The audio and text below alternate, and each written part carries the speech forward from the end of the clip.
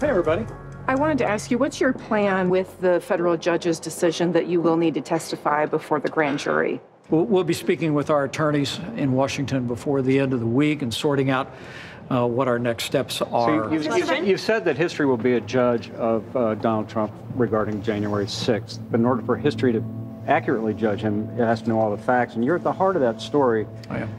How important is it to go above and beyond and tell everything you know? Well, Mark, if you read my book, if you listen to, to the speeches and interviews that I've done over the last two years, you'll know that I think the American people deserve the whole story. And I've been sharing that truth with the American people, and, and, and I'll continue to. Uh, we have nothing to hide. I'm, I'm proud of what I did on that day. I believe we did right under the Constitution and in service of the nation. And I'm pleased the court agreed with us that, in fact, the speech and debate clause does apply to a vice president when they're serving as president of the Senate. Uh, but we want to do so, we want to operate in this environment, in this context, in a way that's just as faithful to the Constitution uh, as, as I was on that fateful day. Great, thank you guys. Thank you. President Trump reached out to you. Thank you.